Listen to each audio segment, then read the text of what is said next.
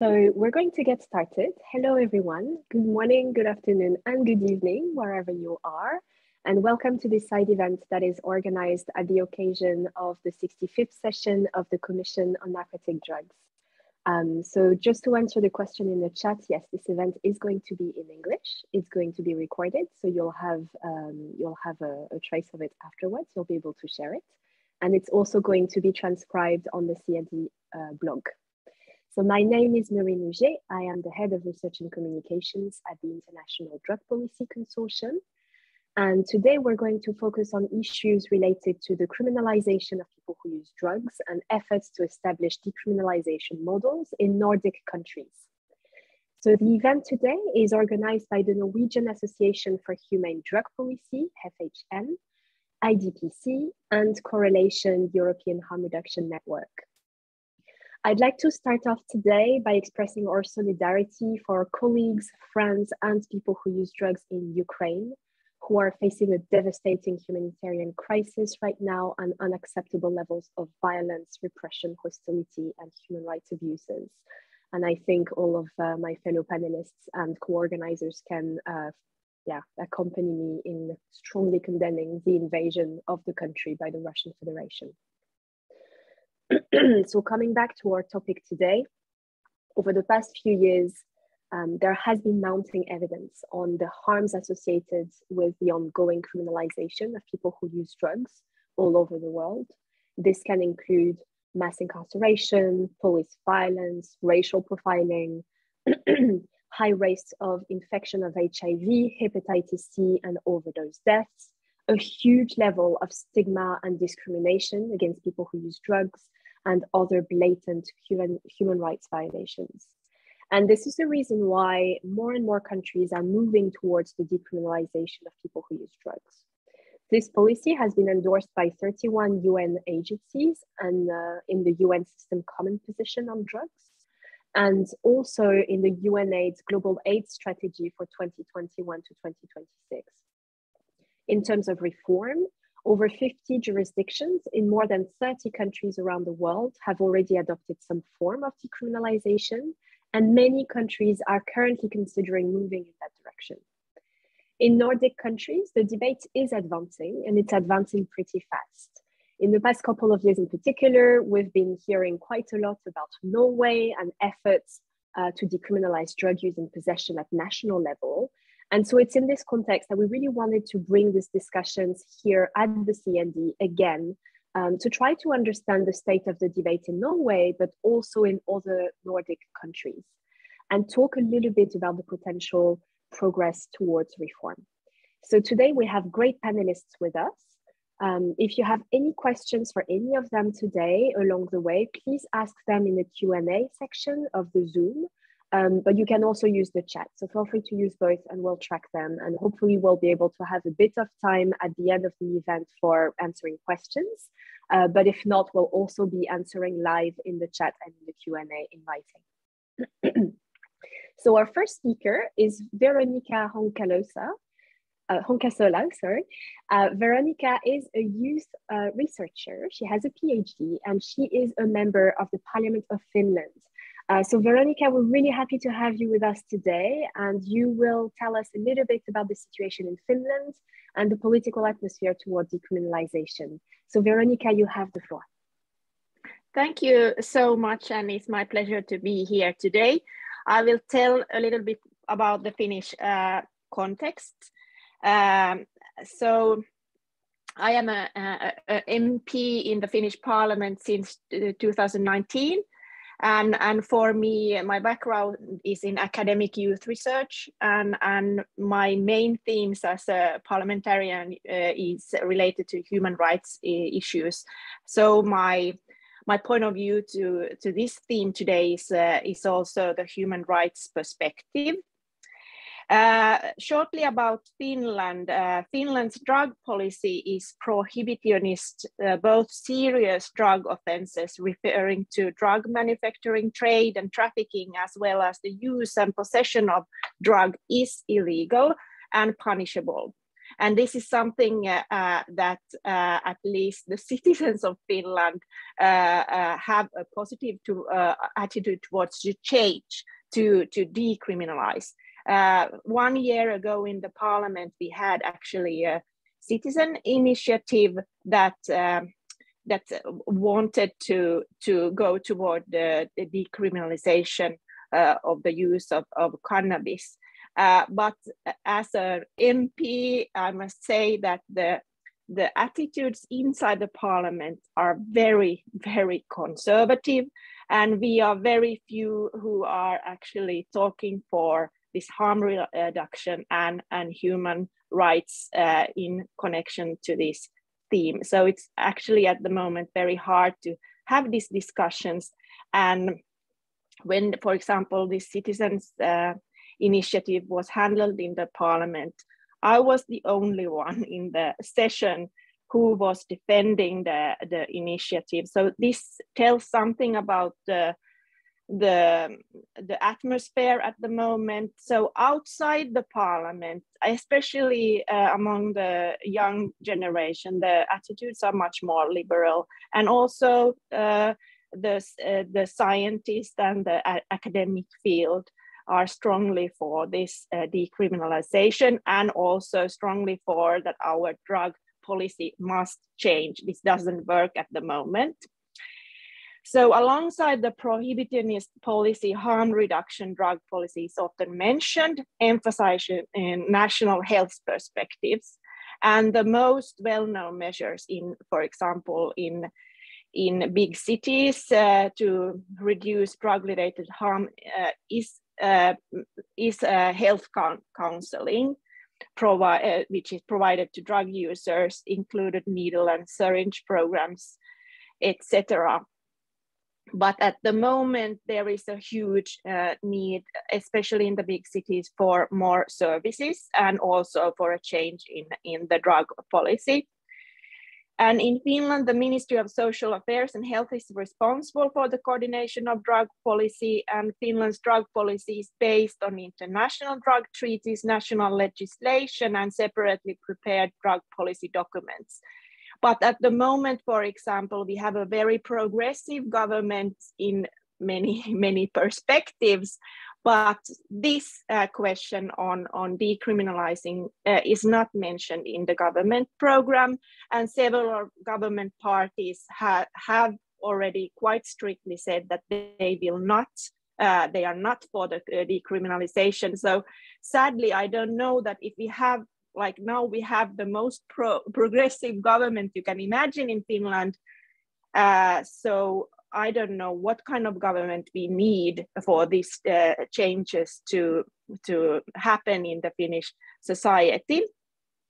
Uh, uh, there has been a, a, a, lately a quite big discussion in the beginning of, uh, of the year about the initiative that the city of Helsinki, which is the capital of Finland, the city of Helsinki made an initiative to the government that the, uh, the legislation should be changed so that we could at, at least try this kind of operating rooms, which are actually functioning at the moment uh, in Norway, Norway and Denmark. Uh, but the attitudes towards this kind of piloting was also very negative. The, uh, the minister, when I made this kind of uh, written uh, question to the uh, minister, she answered that this is not going to happen because it's not in the government program. So this tells also uh, something about the atmosphere between the, the big cities and, and the government or the state. Because in the big cities, uh, we have more, I would say, experiences with these uh, questions. And actually, Helsinki made quite a big report on this issue on the operating room, which was also scientifically based and was very positive towards that the government of Finland uh, should make this possible, at least to try. But so this was um, given a negative answer from the from the government. So the primary goal for the rooms is to reduce mortality uh, by providing a safer environment for injection drug use and by educating in-room clients on safer uh, rooms. And one goal is to guide people to use drugs more safely. That is uh, not by injecting in the operating room, substance testing has been enabled and information and support for quitting drugs and seeking help is provided. And this would be, of course, very important because we talk about very marginalized groups um, uh, also in, in, in Finland and maybe maybe our experts from from Iceland and Norway and, uh, will tell us something about these operating rooms also today. That would be nice. Maybe something about the drug related deaths and also why these operating rooms would be so important is that uh, based on research, drug deaths are on the rise in Finland and other Northern European countries. And statistically, drug mortality in these countries is already the highest in the EU. And this is something that concerns especially young adults uh, and, and young, young men. So this is a very topical issue at the moment in, in Finland. Uh, but it seems that even we have a, lot of uh, like evidence-based facts uh, uh, on our side, the atmosphere is so conservative inside the parliament that actually it's not about uh, it's not about helping the people uh, in, in practice, but it's more about uh, that the politi- uh, politicians want to show how uh, morally uh, right they are and how good persons they are. So that's so sad because many parliamentarians they are not even interested in in like uh, looking at the research that we have on the moment or looking at the uh, big international human rights organizations like amnesty international how they have changed also the, their policy towards uh, drug uh, drugs. So um, this is a very uh, i would say a struggle uh, that we have to, of course, keep on going every day, but it doesn't go fast uh, forward. But what I did also, since I'm a member of the Nordic uh, Council, uh, I also made an initiative there uh, with my group uh, that we would gather information more about the Nordic countries and how, and also to get more information how how the, the drug policy could be more human rights based and, and how we could also uh, share information and make the drug policy more progressive uh, within the Nordic uh, countries. So this is something that is handled in the Nordic Council at the moment, uh, and it will come to the session later on. So we will have also this kind of big discussion on drug policy, Nordic drug policy, also in the Nordic Council, which I think it's uh, really uh, important. Uh, I don't know how much time I still have uh, left. If you could conclude in one minute, that would be really okay, great. Okay, I will conclude then uh, very sh uh, shortly.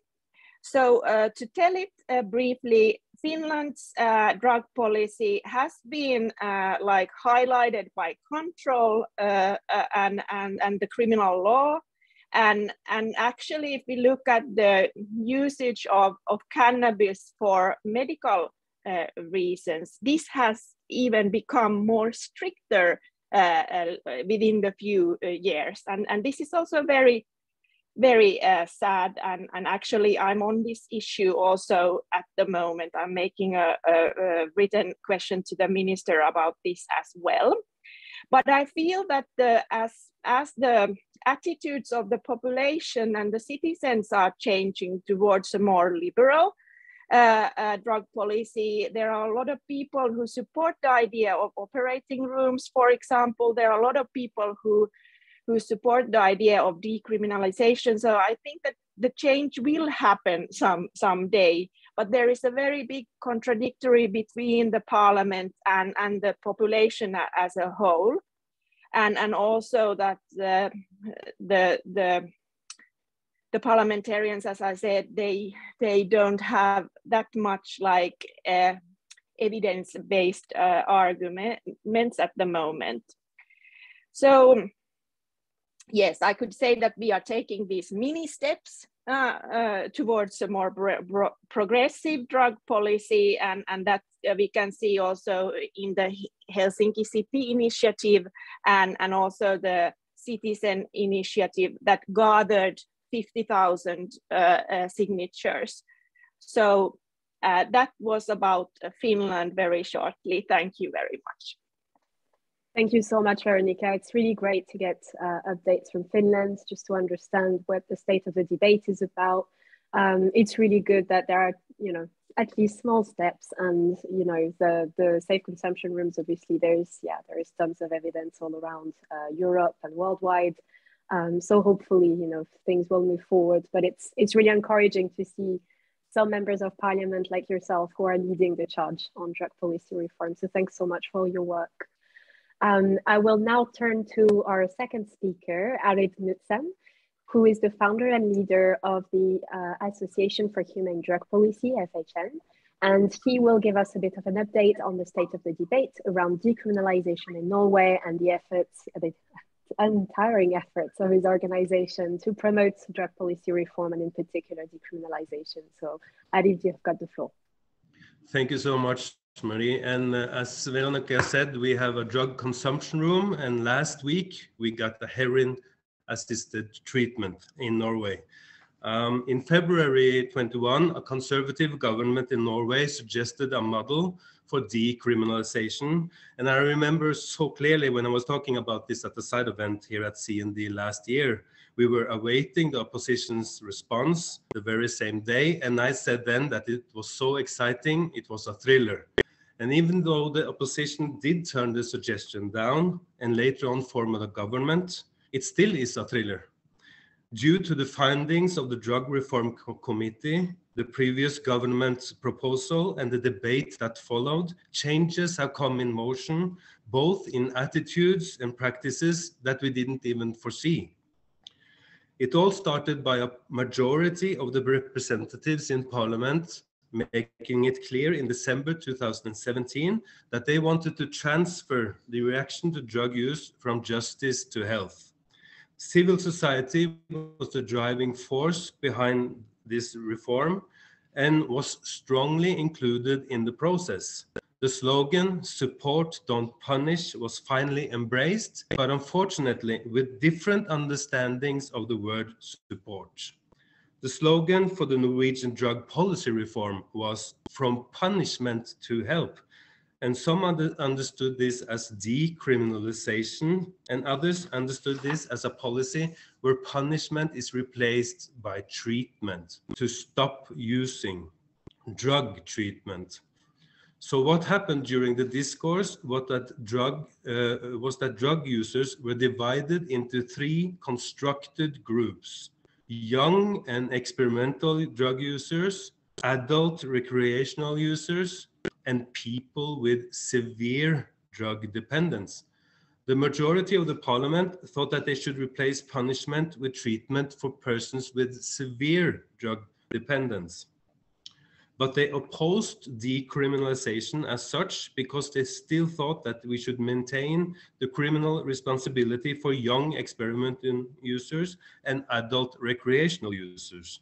The logic behind this thinking is that young people don't know what's for their own good, so they must be forced into a control-based follow-up with urine tests and conversations for up to a year to avoid punishment. And if drug use is again detected, punishment must again be considered. And they think that adult recreational users must bear the burden of punishment because they should take the responsibility for the problems that the illegal trade makes. And they think that those with severe drug dependence should be considered as so sick that they are not liable but to be put in a category with children and mentally disabled, and therefore they should not be punished. So the government's drug policy reform was turned down because of these, in my opinion, stigmatizing attitudes, this political abdication of re responsibility, and this unfortunate construction of groups of drug users. Even though the parliament did make some changes, for instance, from now on, less serious drug offenses shall be deleted from the criminal record after three years, and the Good Samaritan law was implemented, which says that one shall not be in risk of being punished for drug use or possession when people call for help in situation where someone is in danger, like for instance in overdose situations, so that they will no longer hesitate to call for help. But after this, there has also happened a lot of other changes. Drug testing of students and pupils is finally settled as against the law, and therefore the practice is finally stopped. Also, an old tradition with police bringing their dogs to schools to find drug users among the pupils and to drag them out to arrest and to have them kicked out of school has finally come to an end. And finally, now it sparks an outrage when people hear that those who express a wish for a more liberal or humane drug policy are being harassed by police and child welfare services and so on. There, there are several things that is happening that shows that the attitude to in the society is slowly shifting in a way where the criminal response is transferred from people using drugs and over to those who are treating drug users bad. And one of the more exciting changes is that the police now are forced to change the way they treat drug users upon arrest. During a hearing at uh, Parliament in March 21, the main opposition to reform, police organizations and police representatives warned that decriminalization would rob them from their tools to prevent drug use. What they meant about their prevention tools was to take urine samples, search cell phones, and search homes when suspected drug use so that they could find who provided them the drugs. The Attorney General reacted strongly and then wrote a letter to the police explaining that they do not have the authority to search to use such privacy infringing measures if suspected drug use. And now this uh, search practice is a subject of investigation also, you, Norway's Human Rights Institution has reacted on this practice, stating that it seems to be a violation of both Norwegian laws and the European Convention on Human Rights. In my view, one of the most interesting things that has happened is that the court system itself has started to reducing penalties in drug cases. In some cases, changing sentences from men, months in prisons to a few weeks suspended sentence. The reason behind this seems varied, but one of the main ones is that if all parties in parliament agree that people with drug dependence should not be punished but help, how can the court system continue to punish? Within the court system, it has also been expressed that punishment for drug use is pointless. After, in five days from now, March 22nd, the Supreme Court will decide whether criminalizing people with drug dependence is a violation of the Constitution. And there's a great chance that they will come to the conclusion that it is. Uh, on one hand, some say that the parliament cannot have a policy without equality before the law. So therefore, we must, we cannot decriminalize just for some.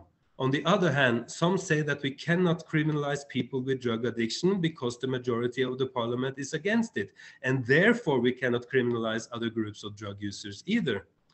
And another important question that is raised is who is to decide whether a drug dependence is severe enough so that they won't be punished.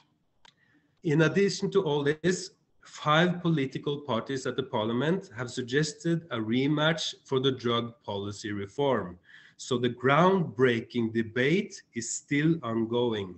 And the municipal authorities in the capital, Oslo, are working to get permission to have a local pilot tryout for decriminalization. So this is where we are at the moment. When the big debate about decriminalization started, people's eyes were opened different parts of society began to evaluate itself. It gave birth to rethinking what had been considered as right and wrong for decades. So to conclude, the debate about decriminalization is not something to fear, but an opportunity for growth and human compassion. And believe me, the situation, it still is an ongoing thriller. Thank you so much, Arild. And it's it's fascinating to see you guys continue your work in, in advocacy and see the debates moving forward so much and so fast in Norway. Uh, fingers crossed for early April, and uh, we'll be following you. Please let us know how it goes, um, and uh, hopefully that will unblock the situation. Um, so there are already a few questions for our panelists in the chat. So if you guys want to start answering those at least in writing, and hopefully we'll have a bit of time at the end. Um, if there are other questions or comments or uh, statements of support, feel free to put them in the chat. In the meantime, I'm uh, very happy to give the floor to our third panelist, who is Henrik Tham. He is Professor Emeritus of Criminology at the Department of Criminology at the Stockholm University and he'll be telling us about Sweden's drug policy and how criminalization has exacerbated harms for people who use drugs in the country. And that might already answer one of the questions from the chat, actually. So, uh, Henrik, you have the floor.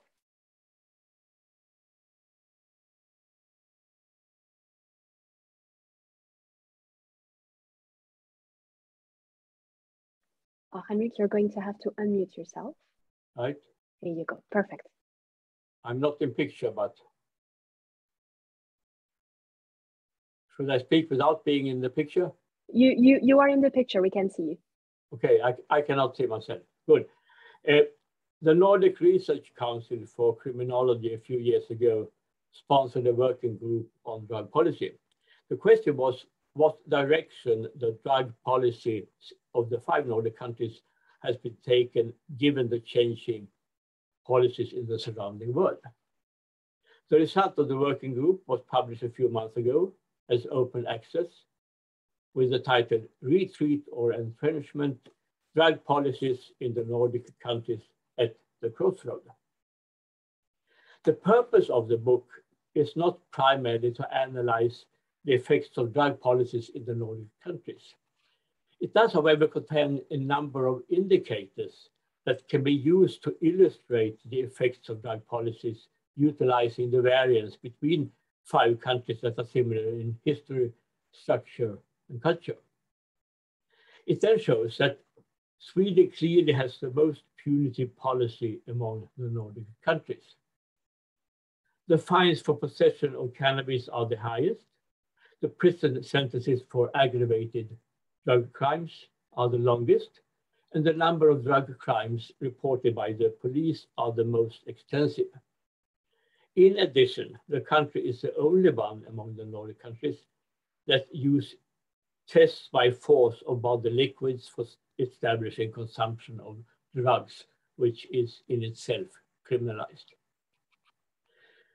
These measures could then possibly be accepted if detrimental use of drugs had diminished.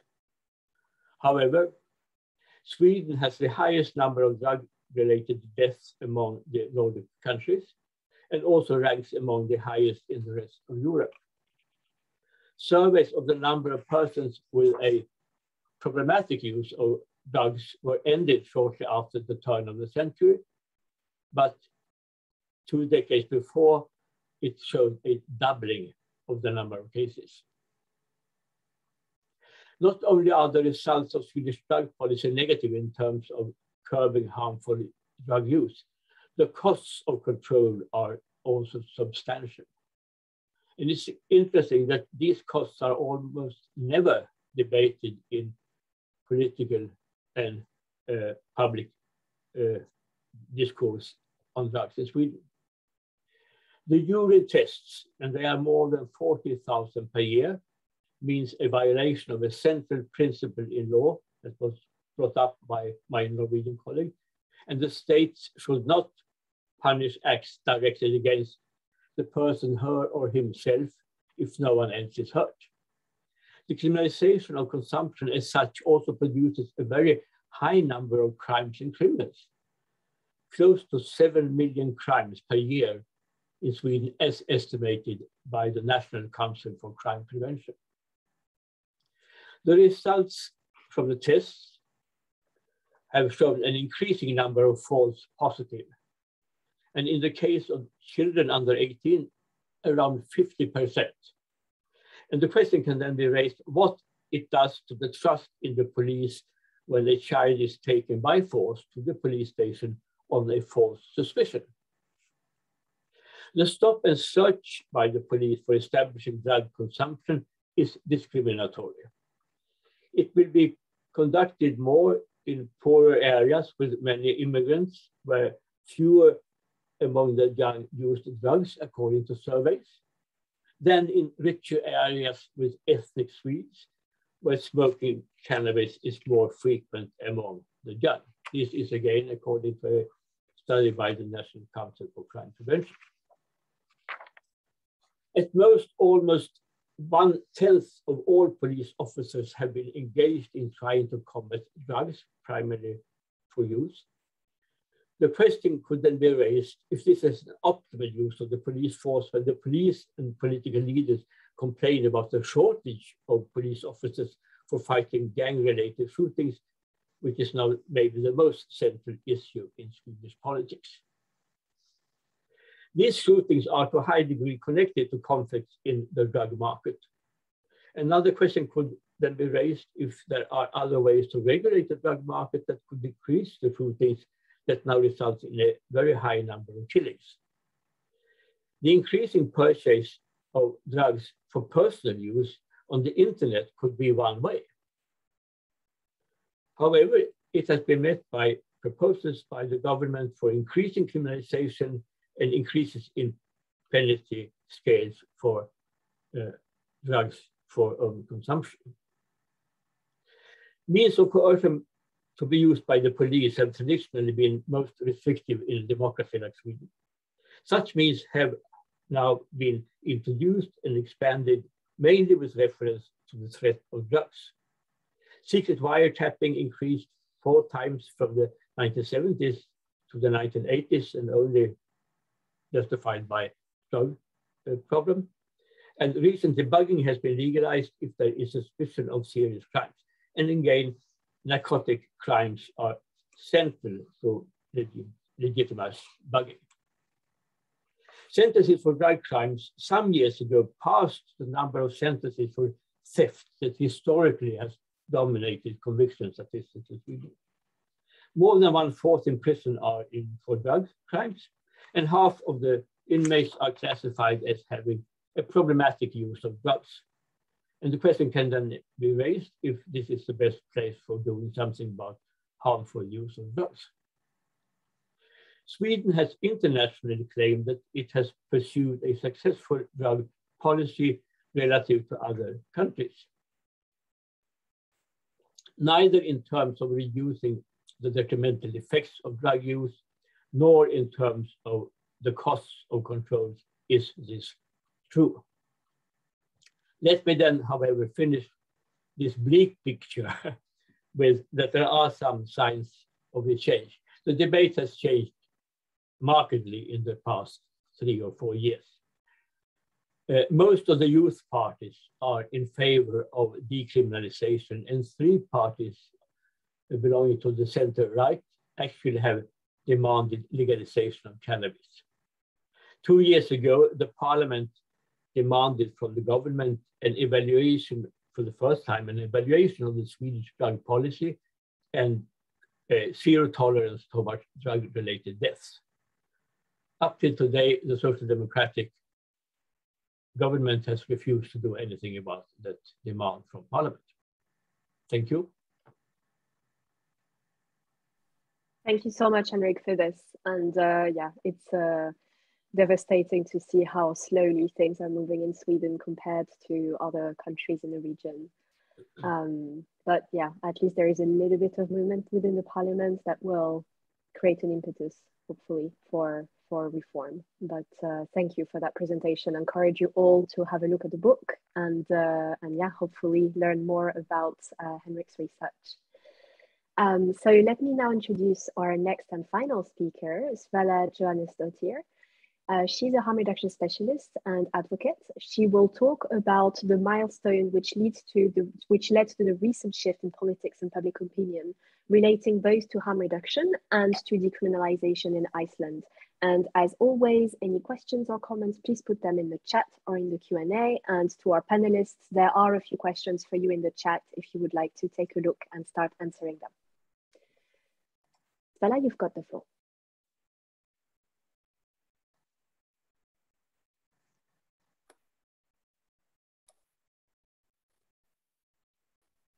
Hello, do you hear me? Yes, thank you. So thank you so much for inviting me to come and organize this event. Um, as many of you know, there's been a, a, a lot of uh, improvement when it comes to the situation of people using drugs in Iceland, and especially, especially the people who are struggling with prob problematic drug use. What I would like to do uh, here in this event is just to um, go a little bit over um, sort of uh, the recent years and what led us to uh, the situation we are in now, which is uh, quite positive. But um, in 2021, uh, a population survey conducted, conducted by the Social Science Research Institution of the University of Iceland showed that 60% of respondents were in favor of decriminalization of drug possession for personal use for adults. Two years earlier, in 2019, the same research showed that 33% of the respondents were in favor of decriminalization.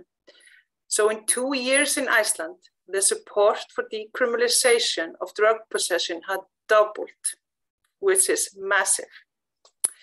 So what I would like to do a little bit now is to go over and sort of analyze uh, a little bit what happened in Icelandic society what kind of advocacy led to this major shift in public opinion.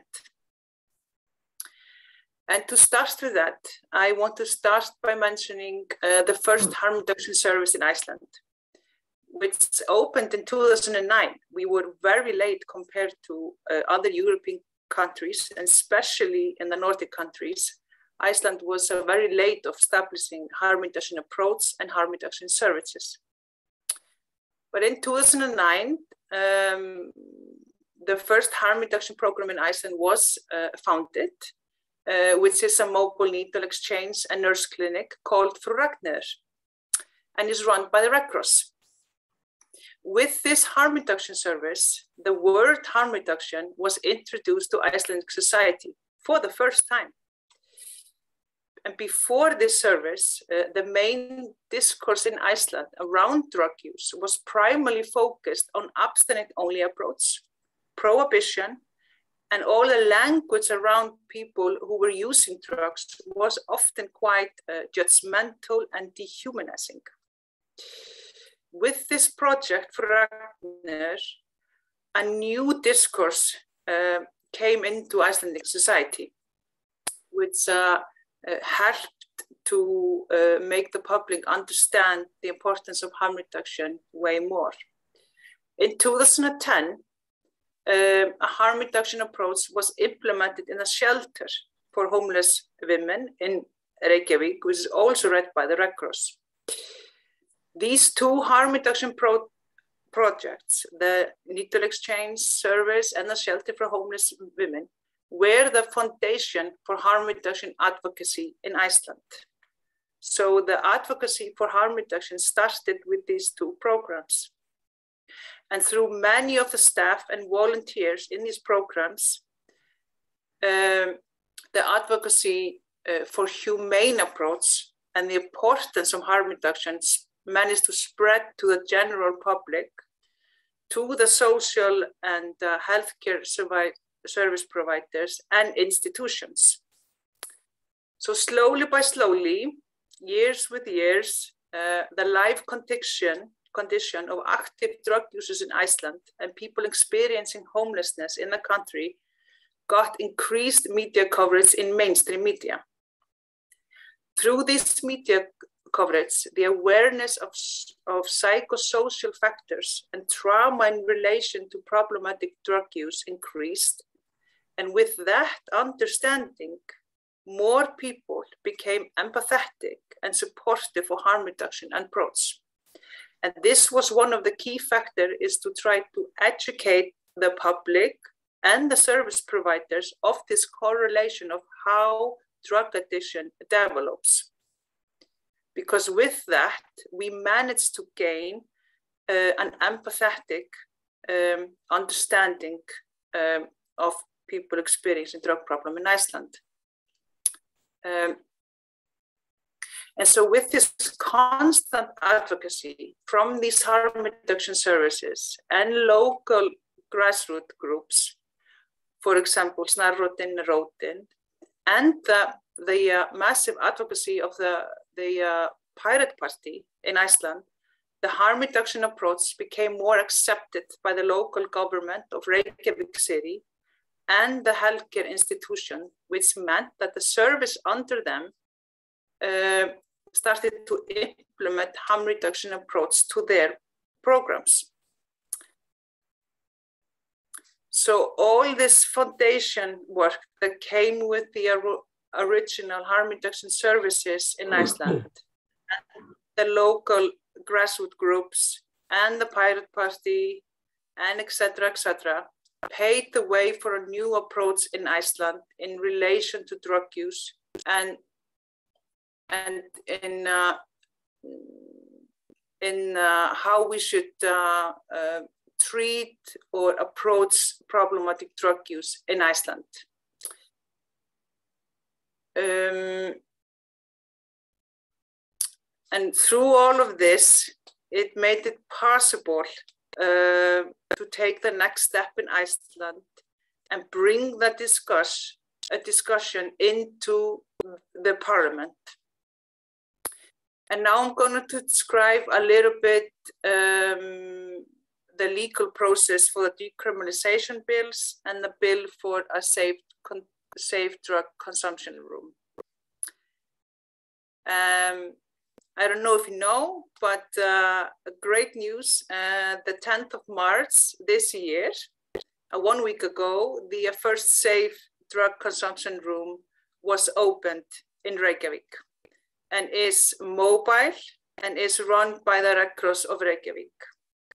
We started to talk about this in 2015, and seven years later, we have it running in uh, the city, which is absolutely great um, the bill for drug consumption room was was uh, introduced to the parliament in 2020 and now two years later it's open.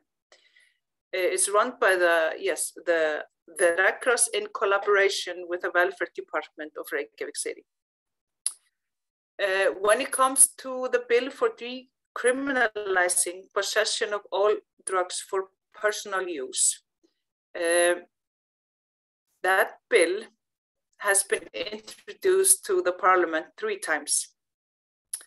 Um, the first bill was introduced in 2019 uh, by nine MPs, and in total there are 63 members in the parliament. It was uh, representative uh, five of the eight political party and was uh, led by the pirate parties. But the pirate party has been the main kind of advocacy inside the parliament for uh, reform um, in uh, drug law. The second bill of the decriminalization was introduced by the Minister of Health in 2021. And at the time, the health minister was a member of the, the Green Party or the left Green Party. These two bill, bills did not pass. And now in January this year, the third bill for decriminalization uh, was introduced uh, by a, uh, an MP in the Pirate Party. So we have to see where that goes. But what is so important and interesting uh, by uh, bringing in this bill to the parliament is that it opens up uh, a public debate in Icelandic so society um, about drug related issues, which opens up the idea of uh, a possible uh, reform or alternative approach. Um, so all of this, what has been going on inside the parliament with the decriminalization bill, the uh, bill passed with a safe uh, drug consumption room, and all this um, strong grassroots foundation um, has led us, I would say, so quickly to uh, the point where we are today, and that it is incredible that in such a short short time. I mean, we we founded the first harm reduction service in 2009, and now 2022. We see in uh, research that 60% of people living in Iceland support decriminalization. I mean, for me as a harm reduction advocate, this is very impressive. And uh, there are a lot of people to think. But sort of my conclusion in this is that the reason this major shift in public opinion happened in Iceland is, first of all, rooted in strong grassroots foundation.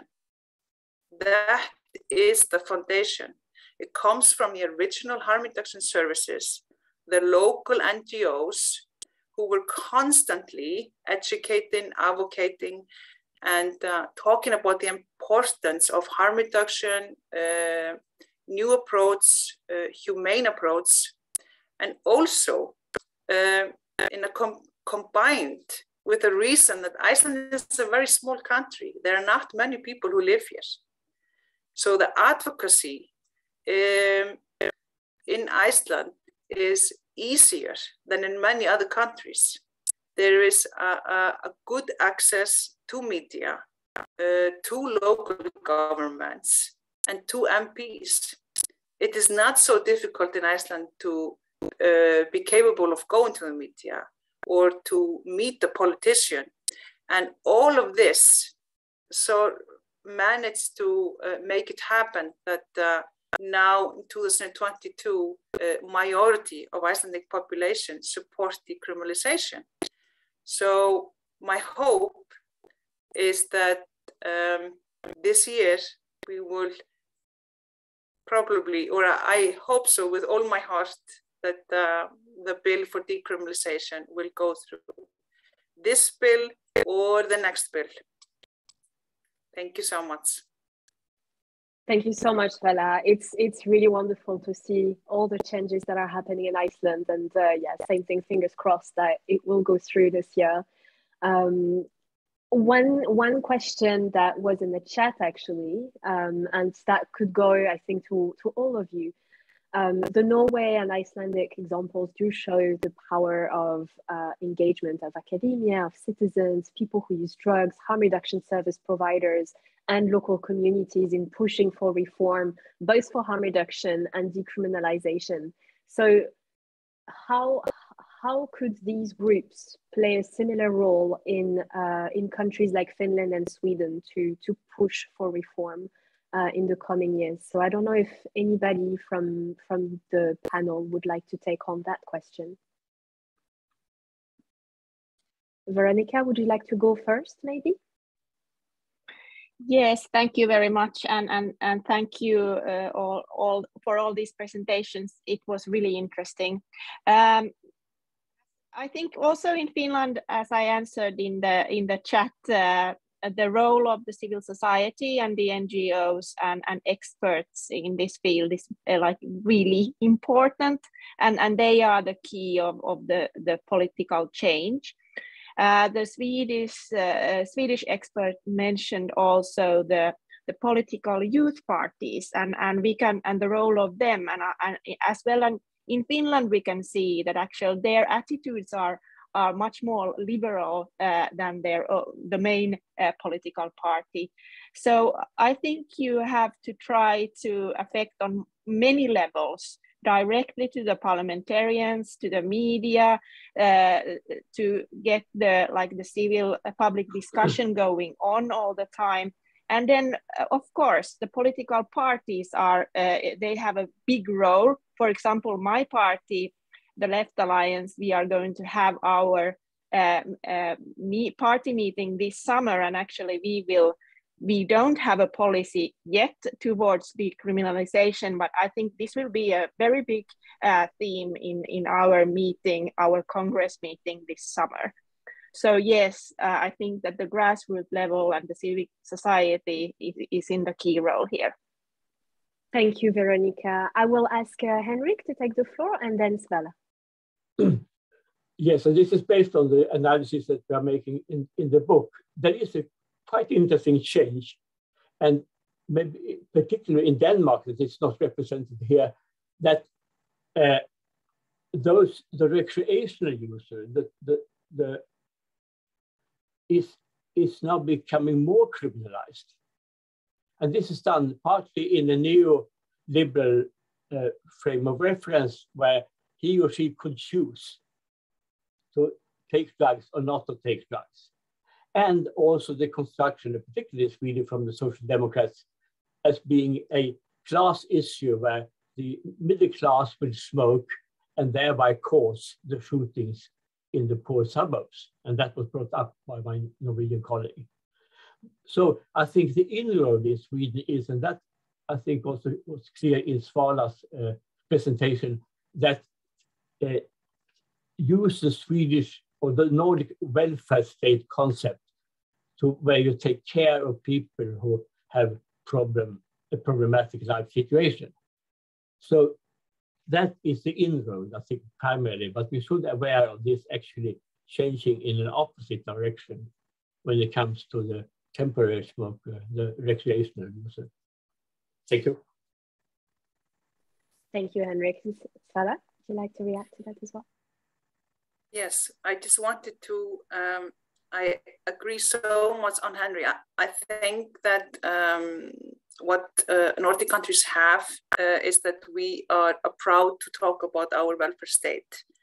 And uh, I think from this approach, uh, we can um, talk about the importance of um, that the welfare state should be for everyone, not also people who have problematic drug use or do not have housing. And this is something that you can work a lot with on a government level is that we need to include everyone not just some people. In my experience in iceland because uh, iceland is a small nation um, to tell personal stories of people is very valuable. And to connect with uh, people through media or um, education with personal stories is something that reach people's heart and build up empathy. And in my experience, to build up empathy in the public in Iceland was the key factor. And this is why we started uh, effectively just to talk about the psychosocial and trauma connection to problematic drug use. And when that sort of managed to be general in the mainstream media, the I felt this kind of shift that people said, ah, we are a welfare state. These are people who need support and help. We need to do something. Because when we have this old school thought of brain disease model or this is their fault, it's very hard to reach people's uh, heart and that they're willing to take steps. And local government in Iceland now recognize that if you're going to support people with some kind of drug related issues, you need to have harm reduction approach because it's in general public now. This is the evidence based approach, and this is what you should do. This is the right thing to do if you're following. Yeah. Thank you. Thanks so much, Svala. And uh, I think it's uh, actually quite wonderful to finish the event on these words. Um, thank you so much, all of you. I wish we had more time because there are a lot of uh, questions now popping up in the Q&A, but unfortunately we're already five uh, minutes past. So we will have to close the webinar uh, and allow you to continue following the proceedings at the CND. Thank you so much to my wonderful panelists. Thanks so much to the organizers. Um, and we hope that this has, uh, this has enabled you to learn more about what's going on in Nordic countries right now. We will keep an eye on all the reforms that are currently happening and hopefully keep pushing for reforms, sharing evidence, sharing personal stories, uh, and make sure that uh, we continue constructive dialogues with, with our governments. Thank you so much. Have all a lovely day and hopefully see you next year face to face. Thank you, everyone.